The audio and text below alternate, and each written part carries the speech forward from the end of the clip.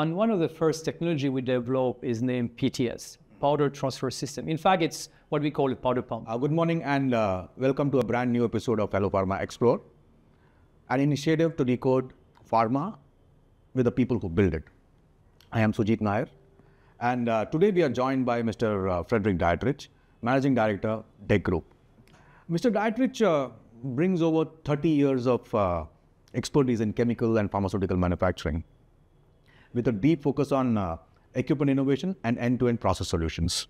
A true innovator and has a lot of patents under his name, especially from a process engineering perspective. Good morning, Mr. Dietrich, and thank you for being up on Hello Pharma Explore. Uh, it's a pleasure to have you on this episode.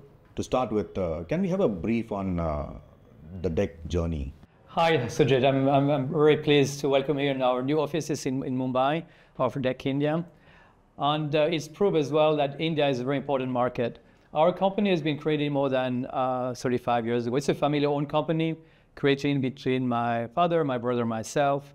And one of the first technology we developed is named PTS, Powder Transfer System. In fact, it's what we call a powder pump.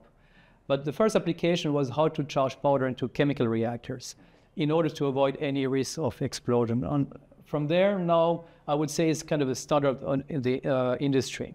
Uh, from that point, we start developing different technologies uh, in different areas. And today we can really say that we can offer what we name true end-to-end solution, starting really from the chemistry, the molecules, up to the final dosage form.